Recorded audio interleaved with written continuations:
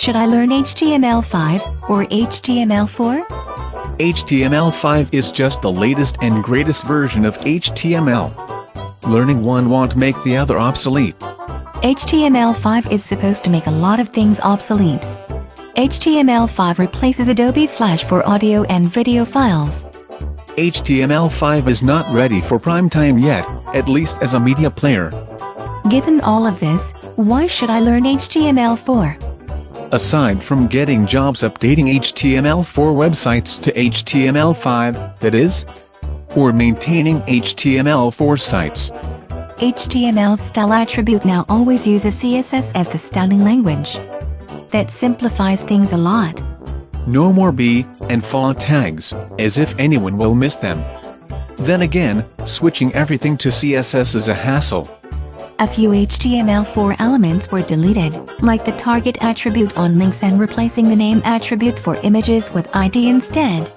Why would I want to learn HTML4 when so much of it is going obsolete? HTML4 hasn't even been completely implemented yet. It will be years before HTML5 is finalized and solidified. What were some of the other changes? HTML5 was intended to turn browsers into application platforms. HTML was to be standardized and organized to support delivering apps through the cloud. So the joke that the differences between Mac and Windows disappear because everything is served through a browser is now codified into HTML standards. Cool. HTML5 has standardized uses of Canvas attributes to handle APIs.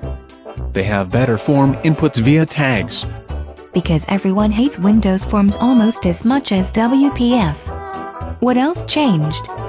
HTML5 limits elements like frame set and no frames that affect usability and accessibility.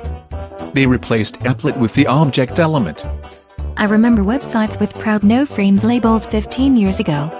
What else did they do? HTML5 implemented more consistent and better defined error handling. Without exception, HTML5 is better. So I definitely need to learn it but learning HTML4 is a good idea too, given how many sites will need to get updated.